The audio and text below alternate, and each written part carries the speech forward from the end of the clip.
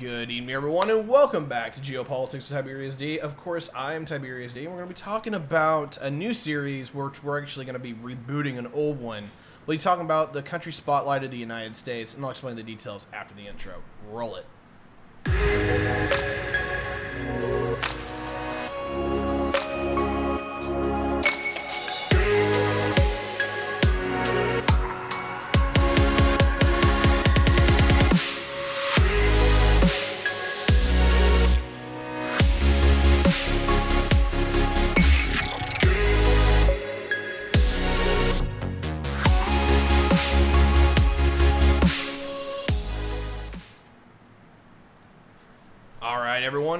Back, and it's good to be rebooting this series. So, for anyone who doesn't know or is not majorly familiar, you're, you're just coming into uh, this particular content, is that uh, when I started back in December, is that we had like everything for each country's spotlight thrown in together. So we'd have a geopolitical history, we'd talk a little bit about what's going on, and it evolved and changed over time. But it wasn't quite what I liked and what I wanted, but it was enough to get by, just to get myself out there, let people know what I'm talking about, that kind of thing. So, now we're going to split this into two. We're going to be rebooting it, and we're going to have the country spotlight, which is largely just, hey, what's going on in this particular country? Today we'll be doing the United States, and then the next episode that will usually follow with it will be the geopolitical. Ge- excuse me, the geopolitical history of that country, how it got from wherever it started or whatever it did start as to where it is today. And so we'll be hitting these tit for tat and going down the line. And uh, of course, we'll largely be rebooting the nations that we already have. We'll be adding a few more. I know a lot of people were upset with me that I didn't do Brazil and I didn't do Argentina. We will get there. We will definitely be getting there. They're on the list.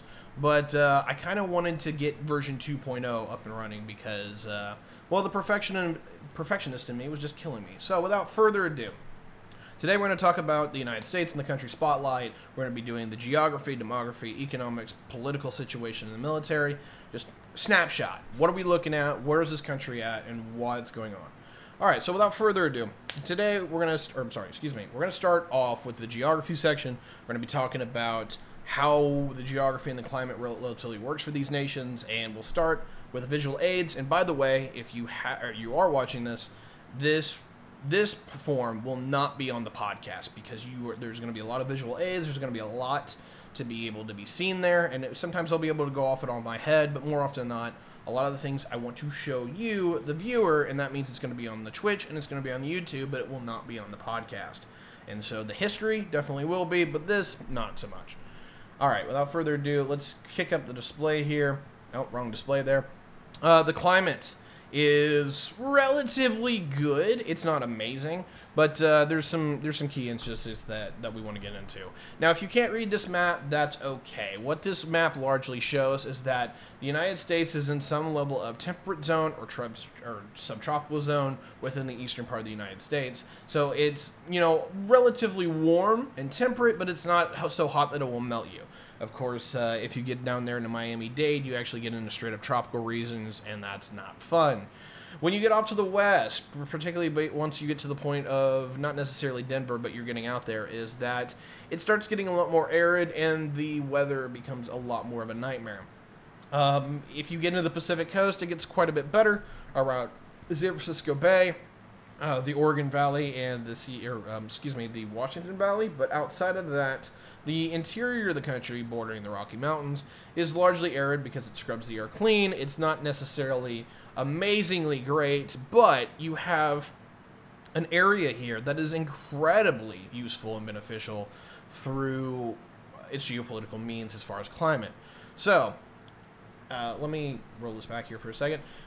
The reason why this is important is is that most nations only have one or two climate zones. It's because they're just to give an example.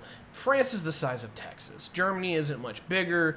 When we're used to dealing with like the former imperial powers or only a few of the other rivals, is that geopolitically they're just significantly smaller. And this is one of the major geopolitical advantages the United States has. Just within the lower 48 itself, it has a continent to itself. You know, if the imperial powers of Europe are the size of Texas, the United States is Texas plus seven. And so Um, in a general level, this is actually very rewarding because it, it, it, excuse me, it has access to major geopolitical resources, and that it has oil in some areas, it has steel in some others, it had aluminum, but unfortunately they pretty much mined it all. Um, it has most of the things that you need to be to maintain superpower status or at least a major geopolitical entity within its own borders, and so it doesn't have to reach out and touch face. Now we can get into the geopolitical history of the oil wars and whatever, uh, definitely in the next episode. But in a large, in a large proportion, the United States has largely been able to be self-sufficient, uh, largely since the era of Manifest Destiny. So, not going to get too much into the history here, but overall, uh, the climate zones, it has some bad zones. I'm not going to say that it's it's all perfect, but the majority or the majority of its climate is relatively solid and it's it's some good stuff. You can largely grow stuff not all year round, but you can grow stuff in a, a prolonged growing season. You have um, access to large river networks such as the Mississippi River Basin, which has, of course, the Ohio, the Arkansas River, the Missouri River, uh, the Red River. All of these rivers interconnect to a point where you can build out this massive logistical infrastructure that is very cheap to maintain and very easy to operate on. Basically, since the invention of steam power and steam locomotion, and that's not talking about the railroads nearly as much as it's talking about steamboats and paddle wheels. Uh, barges are just amazing.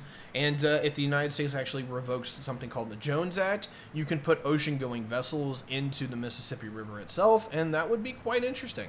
Uh, that will absolutely change the dynamics of how much the Americans deal with locomotion costs within the United States um, because barges are now getting to the point where they're close to trains, and that shouldn't be the case at all. Um, and that just goes to show you that that's largely a regulatory body issue that is being in, in the way. You can put ocean going vessels uh, that get all the way up to St. Louis in some cases, and they're not doing that, and that's becoming a problem for the Americans as far as logistics costs. But anyway, uh, we're going to need to also talk a little bit about uh, this particular map of mine, which a lot of people don't get a chance to look at or talk about. But without further ado, this is the ease of economic development. We're just going to be talking about the United States. And this is, uh, to a large degree, um, Sly, thank you for the follow and welcome. Uh, to this, to a large degree, is what we're dealing with here in the regards of some of these states are in the perfect zone of economic development. They have uh, warm wind, or I'm sorry, they have warm summers. They have relatively mild winters, so you can kill all the bugs off. You can grow a lot of stuff. They've got really good access to resources, whether it's coal or natural gas, petroleum, what have you. Um, the the I belt, the Iowa, Illinois, Indiana belt, and you can throw Ohio into this is absolutely uh, fantastic if you want to live there. I'm not getting into the politics. That's your own personal bag. What I'm getting at here is that these states are largely in the perfect geopolitical area that if you want to build out a functional civilization, this is in the area. And you'll notice that it's actually the Midwest that is largely this area um, personified. This is where you get the be- the most economic activity and ease of manufacturing and uh, construction. And the reason why is that while we have the Northeast Corridor and while we have California, which somebody just asked about, I will talk about that, is that the Midwest, if you actually look at where the industrial plant was ever built in the United States, it was never, it was seldomly ever built, particularly after or after the Civil War in the West or the East. It was built in the interior of the country because it could access the geopolitical influence that is the Mississippi River Basin as far as transportation and the resources within the Midwest, so that you could build out one of the biggest industrial plants that the world had ever seen. Um, now, granted, of course, there is that in the uh, the eastern part of the country. Uh, excuse me, here I am losing my mind. Uh, of course, there's quite uh, quite other parts that you can find in the eastern and the western parts of the country where you'll have major facilities in like New York and Pennsylvania. We'll get into Wilmington and whatnot.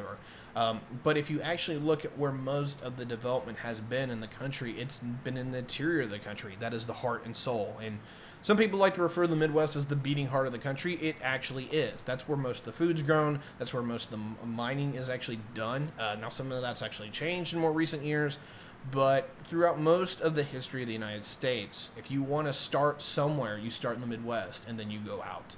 You don't start east or west. So, To answer the question question that was in chat, that is relative. Why is California yellow on that map? And the reason why California is yellow on that map is because of the Sierra Nevada and the Mojave Desert. Ease of economic development means two things. One, you have relatively stable climate, and if you're talking about the Bay Area, the, the climate's actually really wonderful, and it has one of the most stable climates, if not the most stable climate in the United States. The problem is, is that the other side of that is the or the economic and traditional barriers, or excuse me, geographical barriers in California are absolutely horrible. Getting up and down I-80 is a fucking nightmare, and even I-5, which straddles uh, the the more flat parts of California and the western coast is has significant changes in elevation and dealing with um, locomotion. And so, if you want, if you want, definitely check out our city spotlights where we've talked about Los Angeles. We'll be talking about San Francisco soon. But in the whole general level here is that California has a serious problem if you're in the Bay Area or if you're in the Greater Valley area, it's all integrated into one economic network. But getting out of that area is an absolute pain in the ass. And so California is actually yellow in that regard because if you're in the Mojave Desert, you're dying of thirst. Uh, and you can, you know, you can access the right world, but you have to go through a fucking desert. Uh, if you're talking about uh, California itself, Long Valley is pretty solid, but you can't get out without getting on a boat and going somewhere else unless you want to get up, you know, 10% grades or 6% grades on the interstate or what have you. Uh, interesting name there uh, as far as the follower there. All right. Um, the Midwest is largely not that case. Now, we can get into certain zones here a little bit if you guys have questions. The Midwest is relatively flat, has a lot of agricultural production, has a lot of in, or, uh, basically commodities that you can turn into industrial development, and you can build out a modern economic infrastructure with. Um, there's also the issue of overregulation. That is in the politics, which I'm not really going to talk about the individual state politics, but overall, uh, each state has its particular political window that it operates within, and you can criticize that all day. I'm not literally going to go 50 each 50 states and hit every one of them and tell, say why they're good or bad. Uh, so we'll table that part. But at least for where I'm at right now, is that if you get into some of these states are really good, and I'm sure some people looked at that map and went, "Oh, why is Texas yellow?" Eastern Texas, really, really good. Western Texas, really crap. Um, and you, you'll find that through most. The southern states are in green instead of blue because you're actually getting the subtropical zone and it's hot as crap. And we'll actually redress this real quick for you guys. Is that if we're, you know, just to show you again, is that Midwestern states, perfect climate zone, relatively flat, easy locomotion, easy easy to build out an industrial plant. Hello. Um, when you're looking at the southern states, the only problem with the southern states writ large is that outside of like Virginia, North Carolina, that gets pretty mountainous, and also Tennessee, is that it's in a climate zone that's actually significantly hotter. It is, um, I mean, you, you guys can be using your AC in March just to sh- like paint a picture here. So yeah, absolutely getting into some hot levels of nonsense. But you guys largely are able to build out in the industrial plant the same way that the Midwest is. You have plenty of natural resources, plenty of things going on for you that is very beneficial to you. It's just a little hotter than what it is in the Midwest, and that will hurt you in the end because you don't have the natural pest control. And if you guys uh, think I'm crazy here, look at how much pesticides you put into just handling your cotton product. That is absolutely insane. Okay, cool. Uh, yeah, West Coast, uh, largely, if you're on the coast itself, you're in some temperate climates or Mediterranean like climates that are really nice, but you have horrible elevations and horrible geography all around you that keeps you hemmed in. That's why instead of being green or blue, you guys are yellow because you've got plenty going on for you, but you can't really reach out and touch the rest of the environment. Uh, obviously, you've got the Rocky Mountain states, which are just mountains and high altitude deserts. Those aren't really fun to be in. Um, and then you get off to the Northeast Corridor. Uh, the only problem with the Northeast Corridor writ large is that it's largely uh, mount, uh, not mountainous, but it's largely very hilly. This is the Appalachian Trail and the Appalachian Mountains. You can develop things in here. And actually, I might want to downgrade um, West Virginia to orange looking at this, but the, the general trend here is this if you're on the coast, you're good, but most of the eastern states are literally as soon as you get off the coast, you're up into mountainous or semi mountainous territory. That uh, makes transportation and locomotion really hard. The good news is you have a massive seaboard that you can largely just float everything around on. And so you can interact with the Midwest, not by actually going through the continent, but it's actually easier and cheaper to go around down around Florida and then go up through the Mississippi River Basin to uh, get your geopolitical. Uh, I'm sorry, to get your economic structures uh, filled out, and also your geopolitical ones too. So it's great to be part of the Great Union.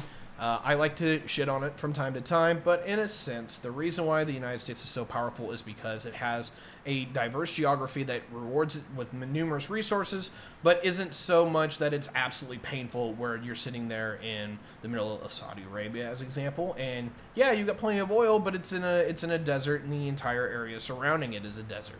Uh, it has a nice balance where even if you're in some areas such as the western states that has like uranium that you need, it isn't a complete pain to get to. Um, and so I'm largely going to end off on the geography section and say the United States is pretty well geared to go ge- geopolitically and geographically because its climate's good, its geography is just pretty much top tier outside of a few exceptions such a, that are significantly smaller. If you're talking about major industrialized nations and the size and scale, the United States basically has a continent to itself, and outside or within that conditions, it's got most of the good land that's in that continent. The only thing it needs to do is basically annex a few areas of Canada, and it would have all of it. Um, and so, yeah, most nations have something that are you know is this big, and then some. Most other nations, or I'm sorry, the United States has a continent to itself that is its plaything. Uh, so, without further ado, we'll we'll definitely end off on that regard, and we'll push it up into. Um, excuse me, we'll push it into demography section here next. So uh, I apologize. Uh, uh, I will have to look at that take later. Uh, give me a second here. Uh, I do not know why that is there, but it's going to be there. Cool. All right, cool.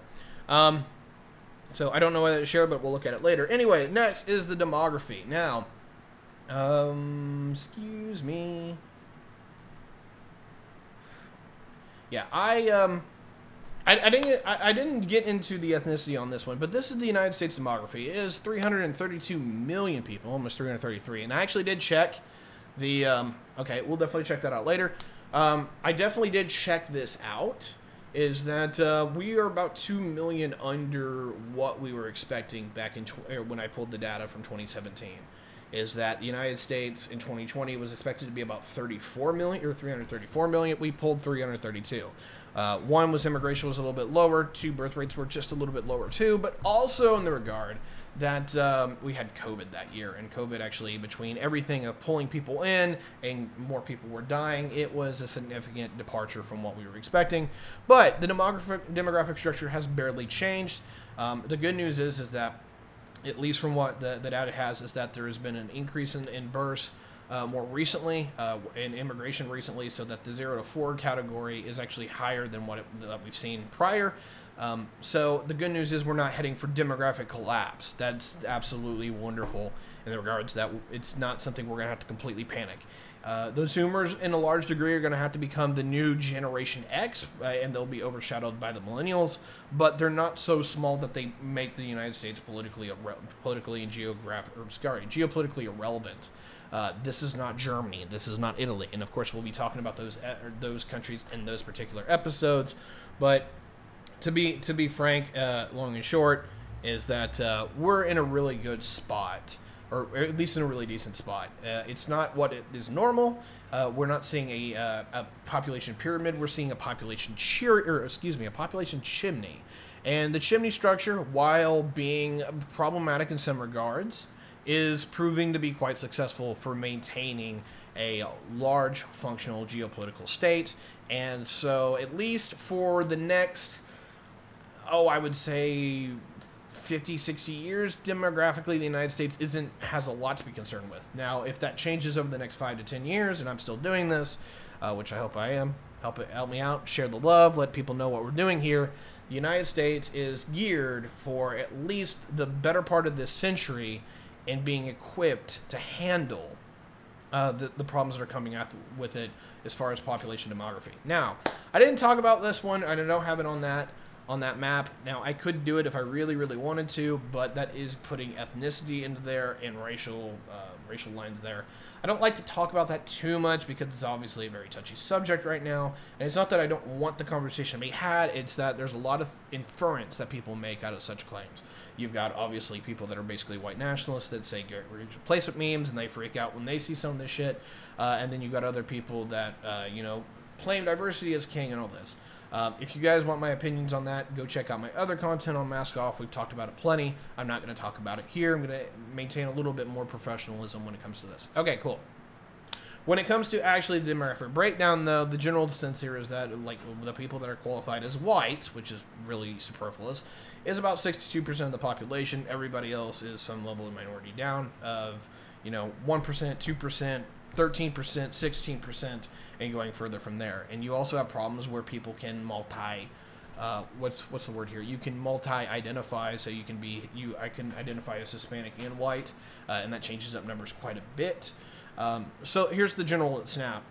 When it comes to demography, the demography is solid as far as age groups, as far as sex balance and culture.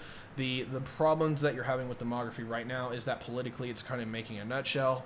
Uh, that excuse me, it's it's creating a schism and uh, we'll definitely talk about that more in the political section. But in the nutshell, is that it, it's gotten to the point that for the conservative party, the Republican Party in the United States, is that they can no longer absolutely ignore uh, minorities and still be able to pull off key battleground states that they need to win the electoral college. And if they want to maintain large political power, is that they're basically in a massive rut.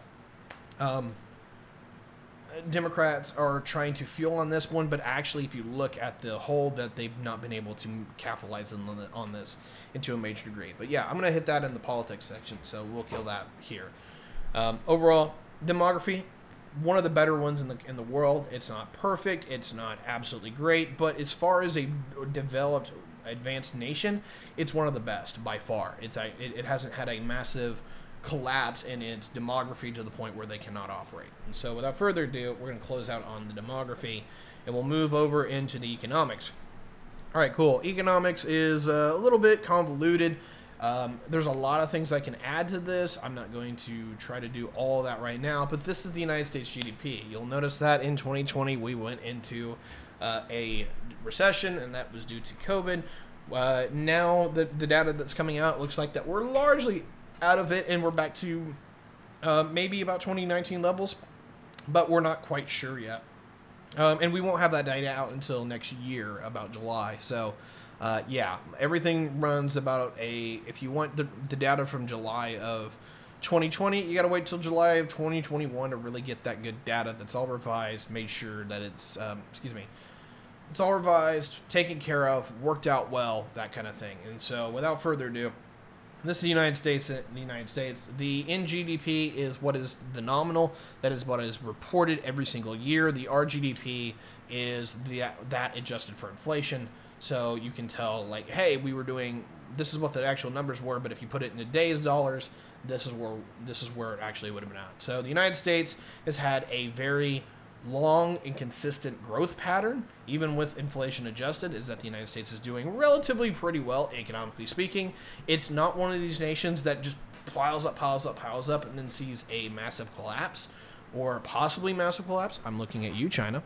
Uh, but it is a nation that has relatively kept a general trend line that while having its, you know, normal business cycles where it grows, it pops, it consolidates, what have you, is that it's largely been able to maintain, at least on a on a macro level, a very strong and vibrant economy that is growing, that is working pretty well. Uh, what I have not been able to talk about, um, and uh, we'll get into this a little bit here, is um, this is per capita. Now the per capita is a little bit slower because the economic growth is not largely keeping pace with the population growth is that for we're adding more people than we are growth in some regards. Not to say that uh, we're not growing at all we absolutely are but it's it's slowed down in uh, particularly since the 90s and that we're seeing a significant gro- or uh, significant slowdown in the um, growth or the economic growth per person here in the United States. And that is largely because one we're kind of capped out. Uh, a, a, na- a superpower nation that has a uh, average income of almost $65,000 per person is something that most other nations cannot even dare to compare to. Even among the industrialized Western nations, they do not have this level of income per capita. What is important here is how the wealth distribution and all that falls into. Now, I'm not going full leftist here, don't worry, guys. Uh, what I'm trying to say is this is that while we do have one of the most vibrant and active geopolitical economies in the world, is that the problem is is that it does have significant problems in the internal part that is leading to major political consequences and uh, major geo major major political, economic, geopolitical consequences across the board. And we're seeing that within pretty much every system that you have. And I mean, if you just turn on the news, you've probably heard something revolving this. Uh, one of the reasons that our population growth has slowed is because of this. So, what's the issue here? Well, the issue here is that the middle class in the United States, and I, I had some graphics on this, but I don't want to do that for every, excuse me, I'm not going to do this for every single nation, but uh, just the United States episode is going to be longer because we know the most about the United States, and, you know, we live here. Um, but just talking about the economy in the United States, is that it's had its middle class largely hollowed out to where there's a, a, large proponents that either you are very upper class, you're part of the capitalistic class, or you're part of the highly skilled uh, class that is basically techno- technocratic. So you're either a doctor, a lawyer, or some kind of like high-end manager that makes over 100k a year, or more likely you're somebody that is very, very working class that is struggling to get by there's very few people that are in that comfortable zone that is able to get by, but it doesn't technically qualify as like very high skilled labor or you know part of the uh, more technocratic, aristocratic, or capitalistic class. And I'm not saying this. I, know I'm using like more left wing vernacular when it comes to this. I don't have a problem with this. I just want to make that clear. What I'm getting at is that the political ramifications overall are very, uh, very, very bad in that we, are seeing the rise of both left wing and right wing reactionaries in the regards that they don't feel that the system is now working for them. They are seeing that their parents had a better lifestyle than they did, and that's causing a massive problem throughout the system. And it probably is in need of an overhaul, but we'll talk about that in the politics uh, section here shortly. But overall, the American economy still doing pretty good, still looking healthy but it does have some major internal problems with it that is largely both political and economic and social in nature. Uh, so I'll move into the politics and I'll wrap this all together. So what we're seeing here is that the United States has a massive political problem, and that is twofold. One, we're in the point now to where, um, and I forgot to bring up this file. Crap, I am terrible. I am absolutely terrible. I apologize. Uh, I'll bring this up here in just a second. But the United States, writ large, has had this problem to where it's one in a or in a political reorganization and this happens every 20 30 40 years depending on what's going on. Uh, and we've seen some of you who are old enough have definitely seen this in your lives whether you remember uh, lbj as a major changeover uh, to where the southern states largely left the democratic party and the dixiecrats uh, formally came to an end. Uh, you may remember the reagan revolution. That was uh, largely um, excuse me, you may remember the Reagan Revolution. That was largely um, a conservative revolution that came to dominate politics all the way up until 1992. And even with that, the Americans largely have taken up, uh, excuse me, yeah, the Americans or the Democratic Party has largely taken up uh, some very strong corporate interests in the under the guise of what the Republicans were able to pull off. Uh, and so I'm going to bring this up uh, right now for you guys. Um, is some of these older files, and I don't have them sized right, and I apologize for that. That uh, was me not being qu- properly prepared, but I don't have the slides available uh, for any other nation because I am not um, as in, in entrenched. All right, so I, I largely consider the sixth party system to largely start with LBJ in '64, with the the, the Dixiecrats, Dixiecrats largely leaving the Democratic Party, and I largely feel that it ends in 2015 with the rise of Donald Trump and a completely renovated idea of what it's supposed to be, or the Republican and Democratic parties are supposed to be. And you can see these changes happen over time, but the big change definitely really starts with the Democrats uh, in 64, at least for me personally. A lot of people don't think it starts until 1980. I strongly disagree with that. But the the traditional coalition of the Democrats, you may notice, is not what it used to be. The Republicans also in the same regard that uh, neither party can actually work in the regards of what they did. And uh, so this is my current forecast that we're heading to right now. Uh, you'll notice that some of this is a little weird for some of you guys. Um, I'll talk about this a little bit yeah, as far as where we're at. Uh, but that this is just for you guys to take a look at it, where I think we're heading, and what what have you. Okay. So, again, United States episode is going to be a lot longer because I can't. I can get into these nitty gritty details of what's going on. I will be able to do a few other nations to this degree, but not a lot. A lot of it, I'll just be able to talk about who's in charge, what's going on, uh, in the political structure, and not necessarily the overall reformations that they're going through, because that's very, very poignant data that, quite honestly, I just haven't had time to get into. All right, so let's talk about what's happened to the Democrats.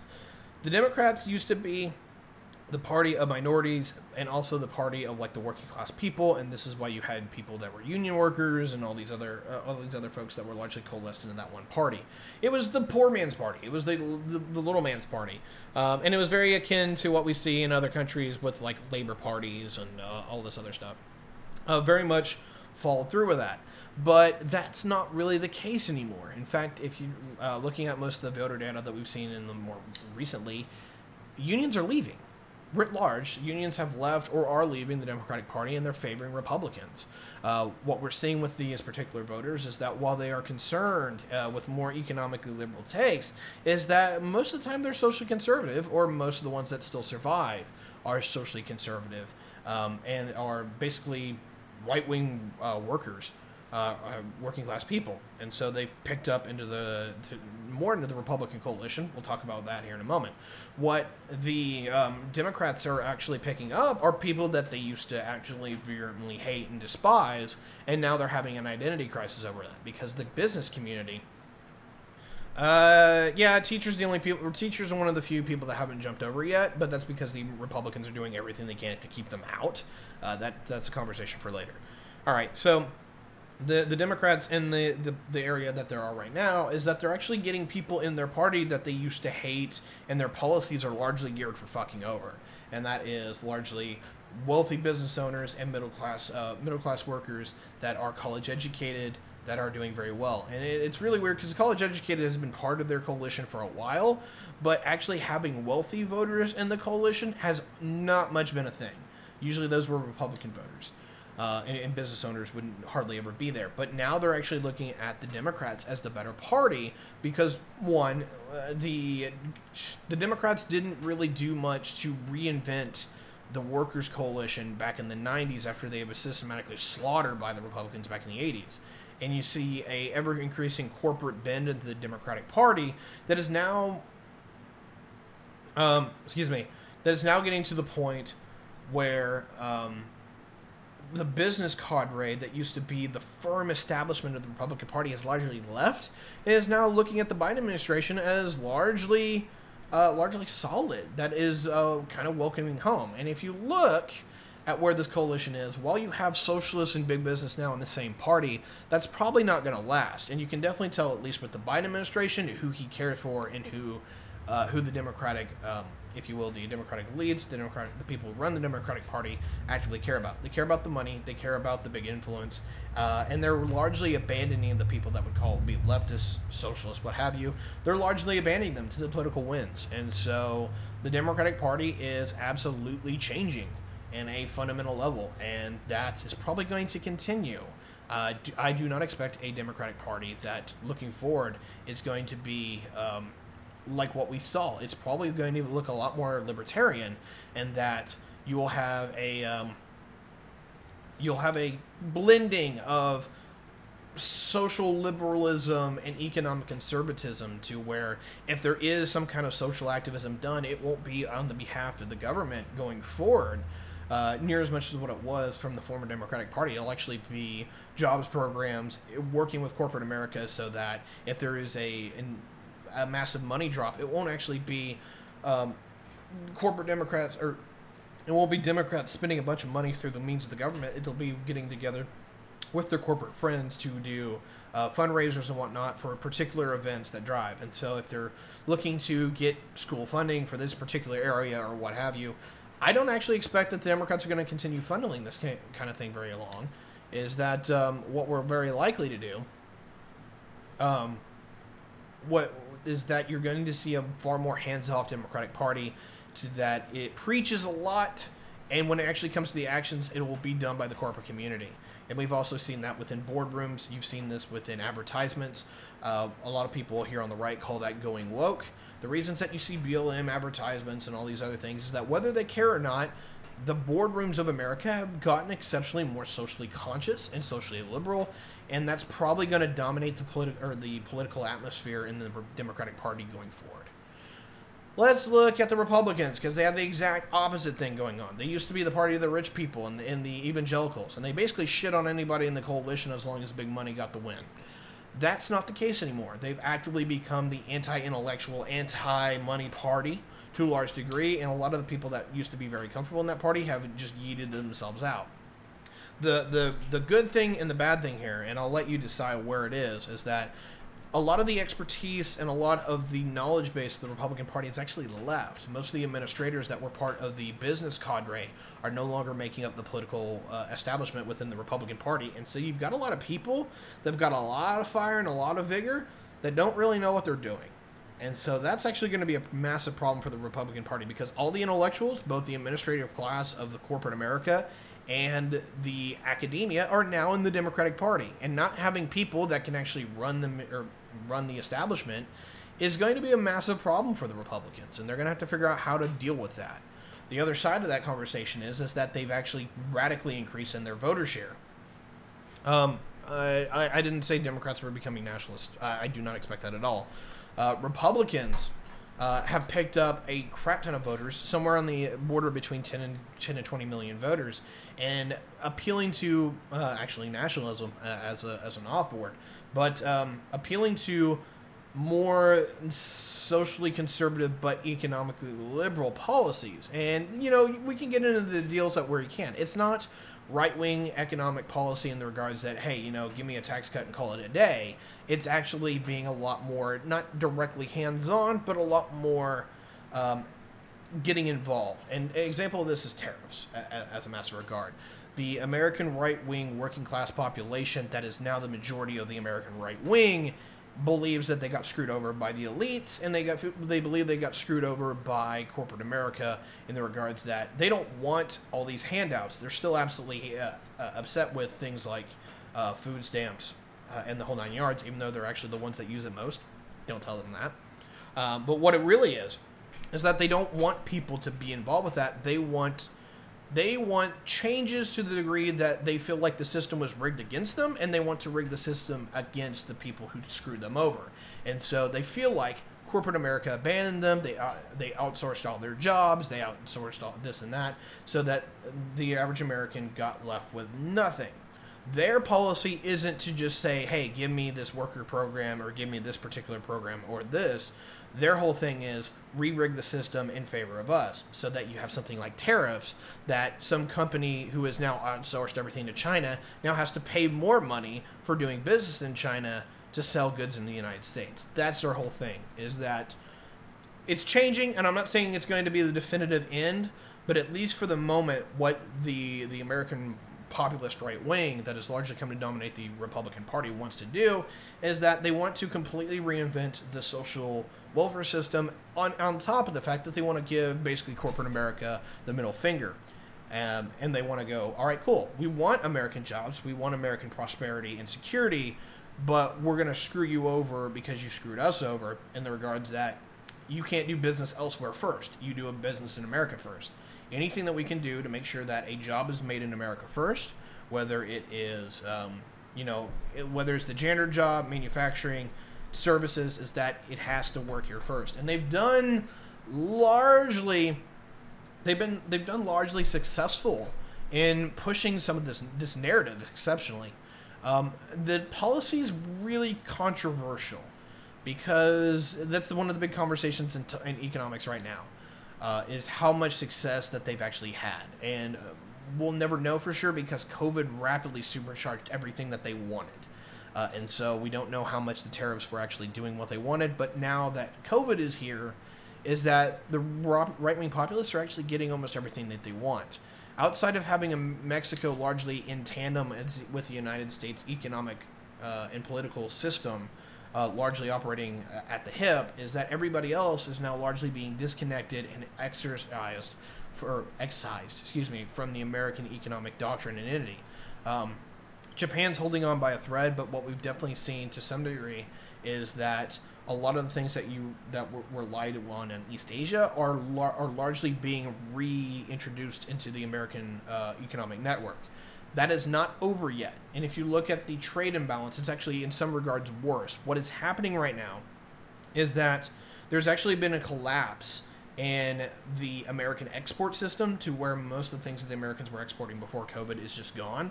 And so the trade imbalance got worse. But if you're looking at the imbalance of what the Americans are importing, at last I checked, it's actually going down. And so bigger de- trade deficit, but actually trade imports are going down, and we're probably going to see that continue for at least the next 18 months because most of the things that the Americans are not right now worried about in dealing with COVID and dealing with trade lines and also with the more economically populist, both left and right, is that it looks to be the case that the American economic system is now trying to bring every job that they possibly can on board or on board into North America and particularly the United States because you don't have to deal with customs, you don't have to deal with uh, different policies regarding COVID enforcement, and so that's a boon for the American uh, system uh, domestically. What will remain to be the seen is the the difference between the Republican Party and the Democratic Party going forward and how they want to handle this. I expect the Democrats are largely going to start walking away from that as COVID becomes less of a thing, and that's a big issue because we have the Delta variant now, and supposedly there's a Gamma variant out now. But at least in the nutshell, at where we are, is that at least for where the United States is right now, the Democrats may become a lot more global reaching here in five years when they get a chance to, when they don't have to deal with COVID as much, and they can pick and choose who they internationally want to deal with. The, the, Republicans look like whenever they get back in power, whether that's sooner or later, is that they're largely going to push a hyper nationalist agenda. That means Amer- that is America first. Uh, that is the United States will look to making any and every job operational for the average American to not only to push up the, the, the cost of labor to to get the American working class back on its feet, but also in the regards that they don't want to have to deal with foreign entanglements as much and they're becoming incredibly isolationists while also being hardline militarists. It's kind of weird.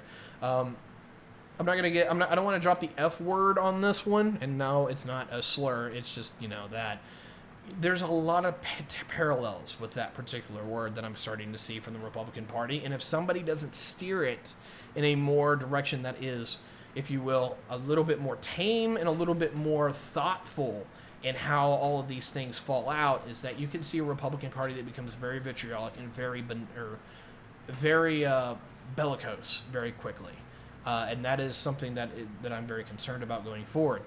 Um, of course, a lot of people know that I, I do favor more the right wing here in the United States, and I do favor the Republican Party a little bit more, but I'm very upset with where everything is, both from the Democrats and the Republicans, and I don't really have my shoe in either horse at this point. Um, but anyway, just trying to get my bias there for anyone who knows. Uh, okay, so without further ado, uh, we'll close out with the politics as being this. Right now, currently, um, in the United States, the, the country is largely run by the Democratic Party on the federal level. I'm not going to get in the states, uh, but on the federal level, the presidency is a Democrat. The House is a Democrat by about, mm, what is it, about 10 seats or so.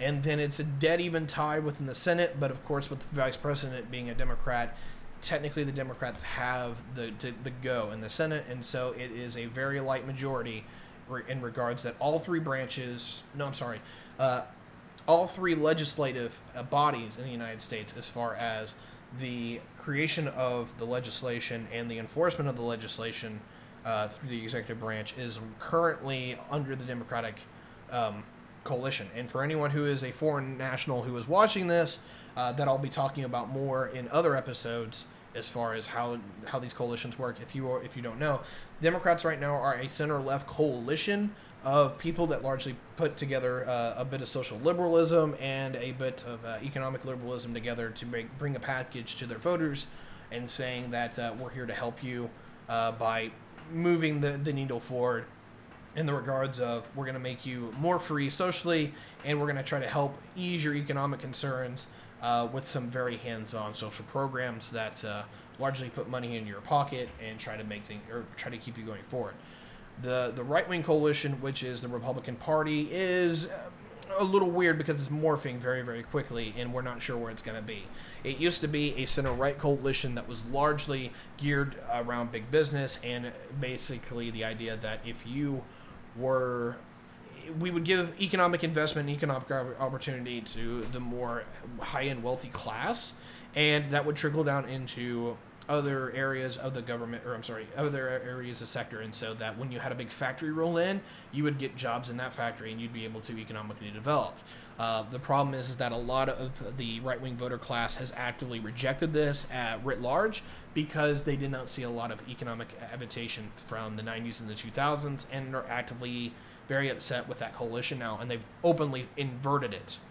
So now what we have is a um, I'm not going to say it's center right anymore, but it's definitely more of a hard right coalition that is actually stupidly popular within the Western world. It's probably the biggest farther right coalitions that you see in the developed world, to where they are now actively advocating that the elites suck and the United States needs to come first when it comes to dealing with geopolitical matters.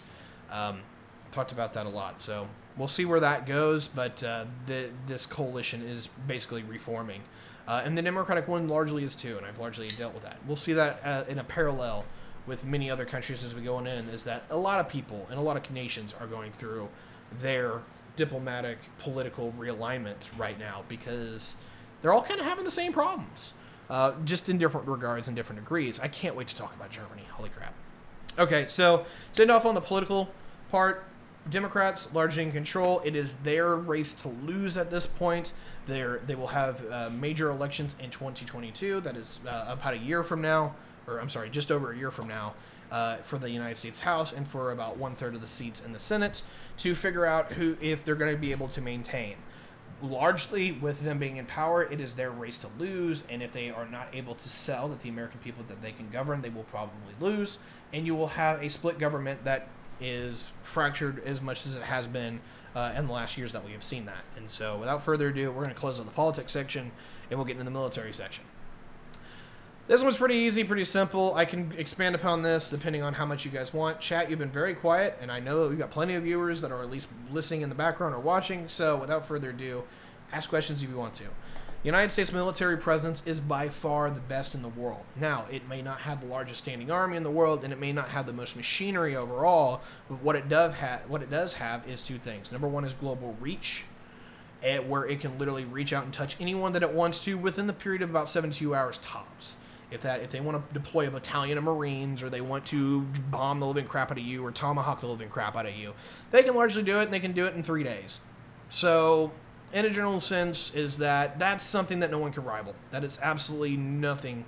Um, thoughts on NAFTA? I will get to that. That's a good question. Um, excuse me.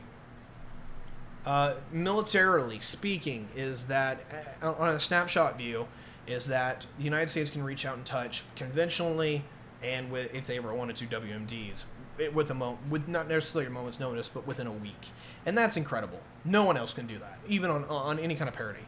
Um, what the Americans do have going for it is is that while its land forces are actually some of the now some of the smaller ones that you can see in the world, it uh, is that it's a highly trained, highly experienced, technically. Um, ooh, great question! I can't wait to talk about that one.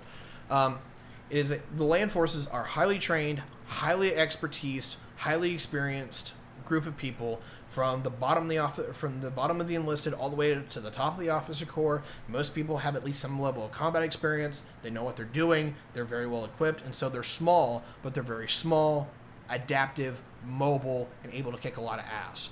And so, with that strike package, they're able to roll in with a battalion of tanks.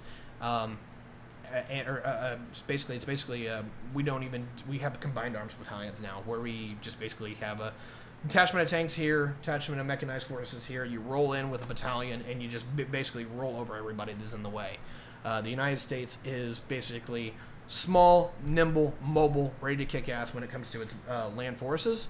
Um, and so where um, where they're at on the ground is that they are very proficient, but they just don't have a, a volume of scale. But they counter that with their general doctrine in the air and on sea. In the air, they have the largest air force in the world. Last I checked, um, that they have more planes serviceable, ready to go to just literally instigate combat missions and air superiority at the moment. And so, what the United States plan is, both navally and air, in, uh, navally and airwise, is that they sanitize the sea, they sanitize the sky because they have the most proficient air force and navy is on the planet, and they're bigger than everybody else's.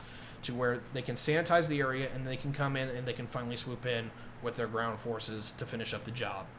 Um, we can talk about cyber and uh, space here in a moment. But anyway, finish out the Air Force, or their Air Force is very, very strong, very capable, very huge. They're, they they have the largest tanker fleet in the world. They're one of the few nations that actually operates AWACSs uh, into a large degree, which are basically airborne uh, warning and control centers that uh, you basically just sit about 100 miles back behind the front line and uh, you just watch everything that's going on. Um, and so that's a really weird question. Uh, we'll get to some of these later. Just don't overly pile, and we'll get there. Um, the United States, Air Force wise, is just the creme de la creme. Now, they do have some issues. I'm not going to lie about that. Uh, where a lot of their replacement, uh, actually, I need to talk about that for the whole fucking for the whole thing. Actually, um, they do have some problems, but the Air Force is largely very very experienced, very capable. They know exactly what they're doing. They have the tools and equipment to do so with very little co- competition anyway. Uh, and if they do run into the worst of its competition, they can largely sanitize the area within a few hours. Um, that's how proficient they are. The Navy, not necessarily in the same state, but largely. Um, the United States Navy has been shrunk by a significant measure. It used to be a 600 boat Navy back in the late 80s. It is now less than 300. Um, that was kind of coming, but in the general sense, is that at least with the Navy, the Navy is the most practiced, proficient as well, uh, along with everybody else. Uh, they're just the United States Navy is supreme. They have about 11 super carriers right now, which are no one has anything to level against. The closest thing that comes to that is the two Queen Elizabeth class aircraft carriers that are about mm, one half, two thirds the size, and they, they still don't carry remotely the same aircraft complement. Uh, but the long and the short here is that the Queen Elizabeths are the only major rival for the American aircraft carrier fleet, and they're allies. Uh, they also have 10 sub carriers that are basically amphibious assault carriers that either can carry VTOL aircraft, helicopters, or me- basically a marine detachment. Um, and basically, they get together with a few other ships and they can um, they can basically go out and invade. All right, so I'm going to answer a few questions here, and then I want to talk about this overall. What about our heavy bomber fleet? B2 is over 30 years old, um, less than 40 uh, B 52s left, even fewer B 1B bombers. Um, if we lose lose five two, okay, well, I that's weird. If we lose a few B52s, it'll be impossible place. Okay, so here's the thing. I'm going to talk about this in a nutshell overall for the United States military. The United States military has a lot of equipment, but a lot of it is old. And that is everything from the F 15 and the F 16 in the United States Air Force to the M1 Abrams on, on the ground, um, uh, the M1 Abrams and the M2 Bradley that is on, or in the army and in the navy is that most of its fleet is pretty old with um, excuse me with uh, Ticonderoga and Arleigh Burke class destroyers. Um, some of this is changing, and of course, the United States Navy is the one that's getting ahead of all the other branches and getting Gen 5 weaponry off the ground in in numbers. And the reason why is that the United States, everyone knows, the Congress, everyone who is basically in, within the DoD knows that if you want somebody to do their job right, the Navy has to come first because they are the ones that will defend the United States in the event of an attack or dealing with foreign entities. And so the Navy always comes first, and that's always been the case uh, all the way since World War One. All right, so let's put this in a nutshell. United States Navy is in the lead at getting newer equipment on board. And just to put you out, we've had the of the Generation Five weaponry that they're calling these things uh, that we have. We have the um, we have the Virginia class submarine. It's very proficient. I'm not going to say it's the best thing ever. Uh, the Seawolf largely was part of, was part of that program, but the Virginia is basically a souped up I-688, um, or what we call a Los Angeles class. It works. It's good. It's solid. It does its mission very well, and there's over 20 of them now. So Virginia, Virginia class doing very well.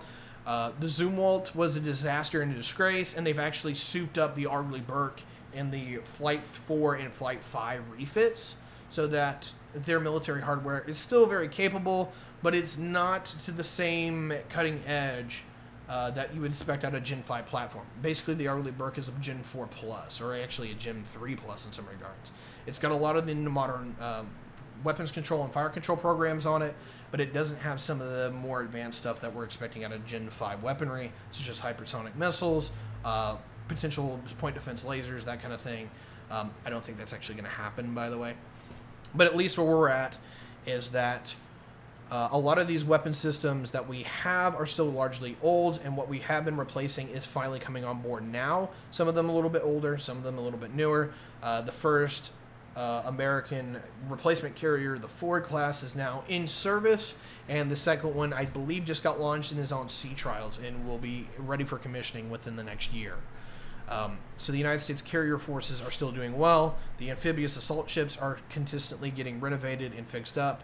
Uh, so that the United States Navy is in a largely functional place, but at least as far as its maxed out capabilities and what it could do, it's had some funding cuts. It's had some redesign issues to where some of these things aren't to where they need to be.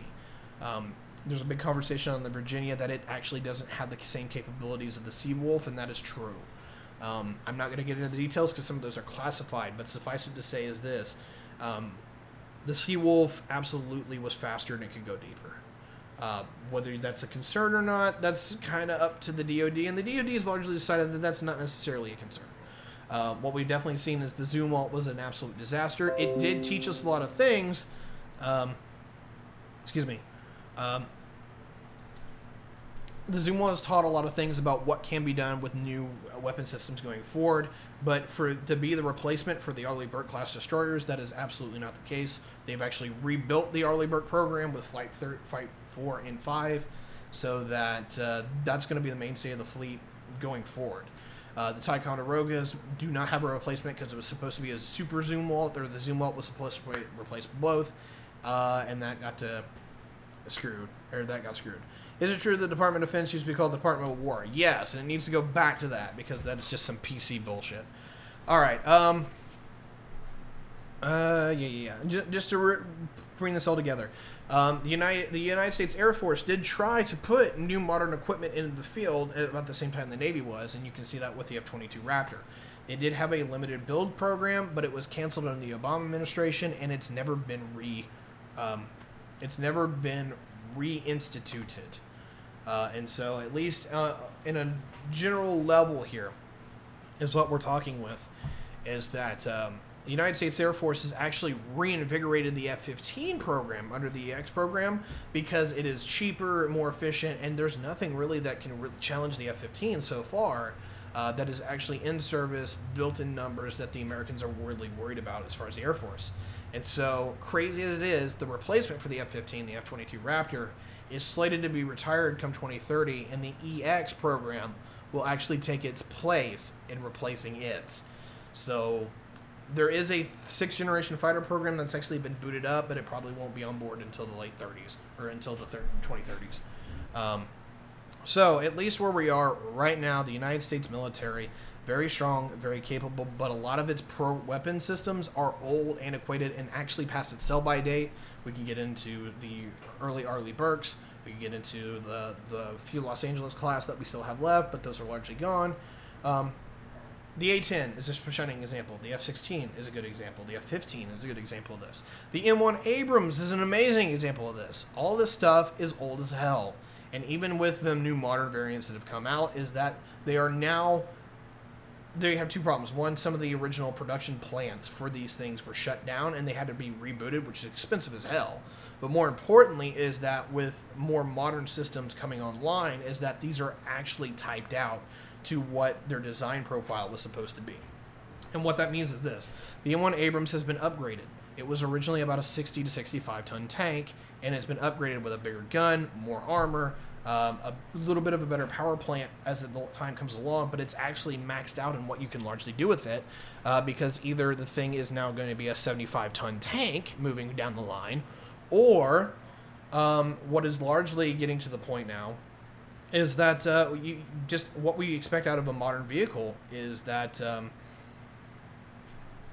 uh, excuse me, what is largely powered by the modern vehicle is that it, it doesn't serve the purpose that we're expecting further ahead. Is that we want lighter vehicles with actually less armor that have standoff munitions on them that will intercept a missile or what have you. But the whole point is that we're kind of going back to what we saw in Gen 2 and Gen 3, which is screw armor, screw protection, just have enough for the small arms and for rocket propelled grenades, and then have enough that you can access the target, shoot it first, kill it first and basically win the battle that way offensively instead of defensively. And that looks like that's where we're heading going forward into the modern era uh, with ground forces.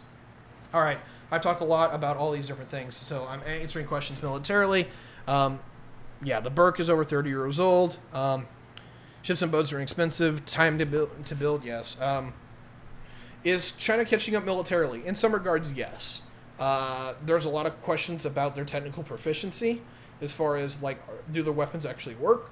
Because they haven't really even tested them to a large degree. And i mean it's one thing where you test them on the firing line. It's another thing when you test them in active military combat. And uh, the united or china hasn't engaged in a military conflict since vietnam. So in a sense here we have no idea. Uh, we have no idea how good their weapons are. Theoretically they could be enough to sub rival the american uh, weapons or to rival everything that is gen 4 uh, that's on the table, but uh, we do know from some of their technical doctrines and, or sorry, some of their technical action and through espionage, that some of their stuff just isn't up to snuff. Uh, their missiles aren't nearly as accurate as what we have been able to see. Uh, their jet engines still fucking suck after all this time. Um, they're getting better at stuff, but in a general sense, is that their their submarines are still noisy. They're better now, but they're still pretty goddamn noisy. Their their jets don't operate as efficiently as American ones, which granted the East always did make theirs where they were heavier planes and they were heavier engines. So take that what you will. Um, what we do need to get into, and I forgot to tackle this, I'll finish up the questions here in a second. Uh, I did not talk about cyber and I did not talk about space. The United States absolutely dominates space. We have more satellites, more inlet, more everything up in the orbit than anybody else, com- everybody else combined we dominate space, and we also dominate anti space weapons if we ever decide to use them. There are anti satellite missiles, there are things that we can do to shoot people's crap out of the sky if we want to. So far, that is absolutely verboten. You're not supposed to do that. Uh, but everyone's kind of knowing that if a major geopolitical conflict um, uh, develops, is that knocking out everybody's space communications is a number one priority. Um, Cyber. Cyber is the big question on everybody's mind right now because no one knows anybody's capabilities. Uh, the Chinese and the Russians obviously have been showing off that they do have cyber capabilities, and they've been basically letting their uh, forces hack into civilian infrastructure and what have you uh, to figure out how it's all working. The, the big the big conversation is this: we have a pretty good idea of what the Russians and the Chinese are capable of, and it's a little scary at some times, and they may be in the lead. What we don't know is that the United States has played this largely hands off to where they they've had a very strict rules of engagement because they the United States has openly said that engaging with uh, civilian infrastructure and uh, political infrastructure is basically an act of war. They don't want it to happen to them, and they don't want anyone. To, they don't want to do it to anybody else. There's been a few exceptions of this, such as the virus that was made from the intelligence services to destroy the Iranian refi- ref- excuse me processing facility. We saw that back in the 2000s under the Bush administration, to where we we made a virus we we blew up. Um, we largely used it to blow up a centrifuge place in Iran.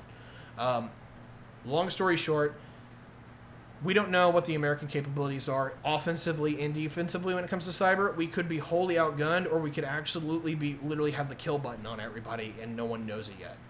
That is a very interesting conversation to have, and it's just really theoretical. And unfortunately, and fortunately, we won't know unless the big the big buttons get hit. Um, so holy crap, y'all are getting very active, uh, but the military chat always seems to uh, get a lot of uh, conversation. So, to wrap this up, um, is that uh, how, how much does the U.S. overpay for its equipment? Not terribly by much. Um, you know, there's a long conversation with how much the DoD spends, but if you want to be a major world power, you have to do two things. One, you have to actually have the equipment. That's a lot of money. And two, you actually have to have good equipment. And that means you're paying a lot in R&D. Um, the problem that the United States has been having is that we keep having these weapons programs to where we have a bidding war for it. And so, one, the government actuaries are like, oh, well, this, you know, we they they don't know, or they're stupid. Where this program is going to cost two billion dollars, they think it's going to cost one billion dollars, and so the actuaries fuck it up. And then what you have is a bidding war to where you openly go, hey, look, we want you to bid on this program so that you can update this thing or build this new thing. And obviously, because of the bids, we always almost we sometimes go with the lowest bidder or somebody that seems most reasonable, and then we go with that. And of course, it's always lower than what it's gonna be. And so the United States procurement system just basically needs an overhaul. We, we basically instead of doing bidding work we need to do contract work. We, we know how much this is going to cost. We know how much this is going to run. Just put the final bill on the tab right then and there instead of doing 60 to 70% of the work and then having to get an extension on how much we, we're actually um, firing off regarding uh, government expenditures. And we can just have it formally introduced there and then. Uh, colonel dan thanks for the follow. And colonel dan is a, a very interesting streamer i will uh, give him a shout out but definitely go look at what he is doing he is a retired colonel um, uh, I want to make sure I've got the right person here, but uh, he is a retired colonel uh, of 32 years in the U.S. Army, uh, if I've got the right person. So anyway, uh, let me finish up wrapping up the, some of these questions. Are tanks need powered by nuclear? No. No aircraft or no tanks are, prepared, are powered by nuclear. they've tried to do a little bit of that here and there, way, way back in the 60s. It's too heavy. It's too. It's just not worth it. Um, so at least on a general level, uh, only naval vessels are powered by nuclear and they're compact nuclear reactors. Um, why doesn't the government publicize every single transaction for people to see? Uh, national security is the big reason. Um, it, uh, Wheeler's log, uh, yeah. Um, it is your tax dollars, but there is you, you don't want people knowing how much money you're spending on this particular research program or this particular research program. And so a lot of this is actually, um, a lot of this is classified by the Armed Services Committee to where they have a black budget. Every now and again, we'll find out how much the black budget is, and they'll actually say, "Hey, this is how much is going into DARPA and black programs," but they won't subdivide it into that. And they're very they're very hesitant on even firing off the main number. Um, so largely, a lot of it's just kind of out there. Um, and so, uh, yeah, uh, let me keep going down. Uh, how good is our intel? Can our intel be of China? Um, couldn't they be hiding tons of stuff and we might not have a good gauge on their own? Um, so there's a big conversation there that gets into intelligence. Um, can you hide stuff? Absolutely. But hiding stuff is actually really expensive. What's actually way better and way easier is deceiving people into thinking you have way more than you do because it's easy to make an inflatable or easy to make it look like you've got a lot of fleet movements and stuff by using the same ships over and over again in, in ways that fools the satellite cameras or fools the electronic gathering, uh, information gathering to make it think that you've got way more than what you do. It's really hard to hide stuff because you have to like satellites are really really good. Um, you have to be able to. Um, excuse me. What I, I need to paraphrase this in a way that doesn't sound schizophrenic and stupid. It's easier to fake that you have more because you can do drills and certain things that makes it look like you have more. But hiding the things you have requires incredibly advanced facilities. Um, and even like moving things around and hiding them in places that are basically out of plain sight, you can do, but you don't want to do that because then they're not useful. And so you can basically have a giant inventory somewhere in the in the Gobi Desert, but you they're in the Gobi Desert. You're not going to be able to deploy them with any kind of time and ease. Uh, and so that's kind of the general thing is that you know where to look for stuff if they want to use the stuff, and as long as you can work in that regard, yeah. Um, okay, so I heard some countries developing sea drones, fast maneuver, remote controlled, can use to swarm ships as far as we know, with no point of systems for underwater. Uh, drones are a big conversation, but it's a really big conversation that goes to a thousand different conversations. Um, Well, basically, what is this? Drones are definitely going to play a role in the future, but no one knows for sure where one starts and one stops because drone technology is growing rapidly. We do know that it is going to be used in as auxiliary in a lot of different places, but what we don't know is uh, where this is all going to end. Holy crap, I'm an hour and 10 minutes. Holy crap. All right, so I need to wrap this up. But largely, drones, definitely of the future, but we're not sure where, where its capabilities start and end uh, to a large degree. Um, um, both. In the 2000s buildings. Uh, largely, this is all military chat, and I know this always becomes popular, but I'm going to end. Uh, okay. Uh, somebody or uh, NAFTA. Yeah, I'll, I'll, hit NAFTA. My, my opinion on NAFTA was this: uh, NAFTA with China or NAFTA with Canada is absolutely pointless, um, and it was largely rectified by NAFTA two or the USMCA. Is that most of the um, most of the things that uh, the exemptions that were in trade policy that Canada got in NAFTA were revoked in NAFTA too, and so largely the United States and Canada is on the same playing field as far as free trade. Uh, there is some domestic things that they have to deal with, but overall, uh, USMCA was an, an, absolutely good overhaul that the United States needed. Uh, dealing with Mexico is a little bit of a different story, and it goes into your personal politics. Is that, uh, uh, excuse me, when it comes to um, Mexico is that there's a big conversation on if we want to onboard them economically and politically to where they're basically attached to the hip. Uh, there's a lot of pros and cons to that. Uh, you're going to have to deal with cheaper labor from Mexico that is going to be out or, or able to outcompete American labor across the board. But on the other side of that is that having a developed Mexico that looks a little bit more economically stable might have major political ramifications that makes it a more stable state and something we don't have to deal with falling apart. We've had to deal with that many times in the past. And so I'm not sure which where you want to side with that one. That's going to be your own. I'm going to say that the conversation with Mexico is very nuanced, and I'm not going to say whether one or the other one is absolutely good uh, or the right way to go. Um, yeah, okay, so uh, Xerxes, uh, if that's the case, we should have told the world we had like 10,000 F-22s instead of 300 or less. Uh, you can do that. Everyone knows that you're lying, but it does actually add a level of disconcernment. Uh, the problem is, is that every time you say something like that, the United States public pisses a fit because uh, they don't like the idea that their money is being spent in their own regards. And that's actually one of the few things that the democratic nations have as a weakness versus the more authoritarian uh, controlled nations is that we kind of have to be a lot more honest with what our hardware purchases are. Otherwise, the tax base gets a little pissed off.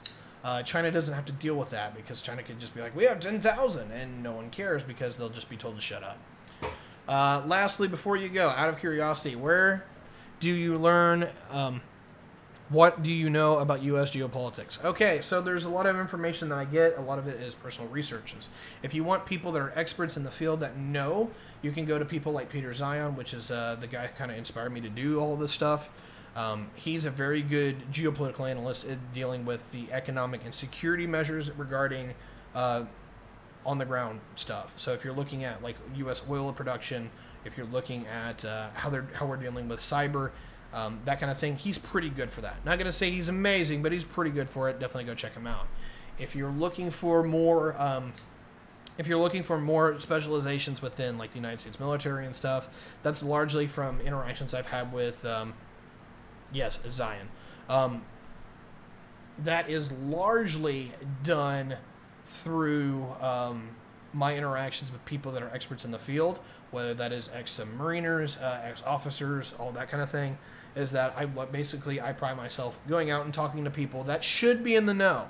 Every now and again, of course, you get contradictory information, and you also get stuff that people will leak and not and will practice uh, OPSEC, where they're worried about security, but eventually, if you talk to enough people, you get the sense of what's really going on, in my opinion.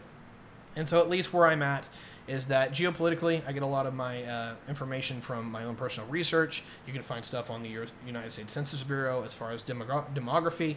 Uh, you can check most economic data from uh, the World Bank, uh, things like that. And so, moving forward and closing this out, there's plenty of people that you can look into and plenty of research that you can do. Uh, I would say PM me if you want specific information to where I got it from.